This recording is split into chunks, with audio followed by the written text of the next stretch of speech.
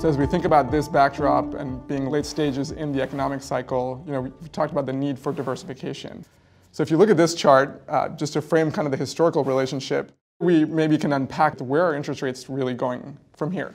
The blue line shows you the US 10-year interest rates over time. The gray line shows you nominal GDP.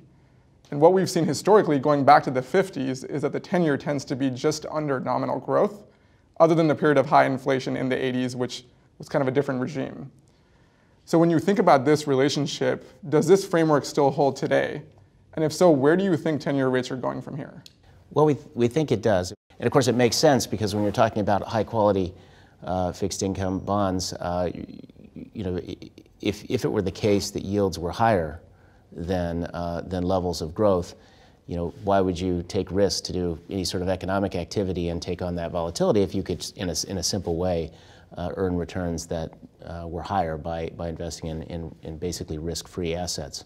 So that's why the relationship exists, and over a, a secular time period, it's one of the, the, uh, you know, the guidelines or general rules that investors should look at.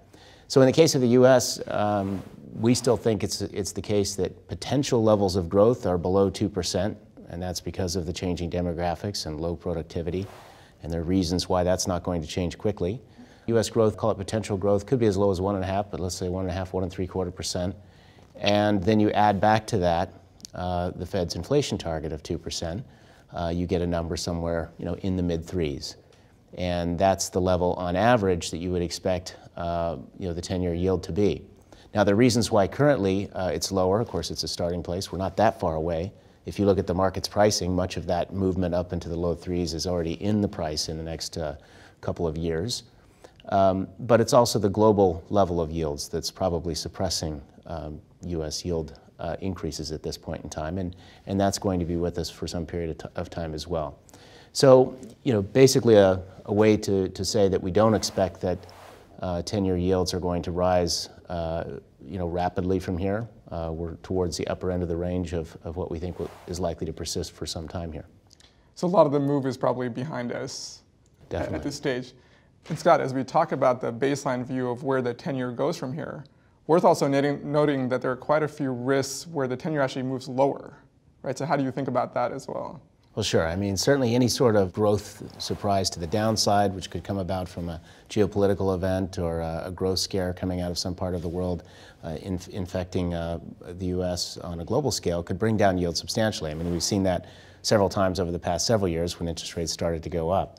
Um, and, you know, I, I, think more recently, one of the reasons for the uh, more sudden move to this higher level of rates in the U.S. has been um, a focus on the inflation dynamic, and people have been very concerned about maybe uh, wages moving rapidly. You know, we would say probably that got the market moving maybe you know too fast uh, on just a couple of data points. When you look at it more holistically, as we do, and when you model out inflation developments, you know, we expect inflation to be slowly trend, moving back to trend and moving back to the Fed's target over the course of the year. So some of the recent data that's sort of been the catalyst for higher yields, you know, when people take another look and look at some more data, uh, we think will cause them to, uh, to reappraise the situation and realize that uh, yields could easily fall back down uh, in this sort of environment.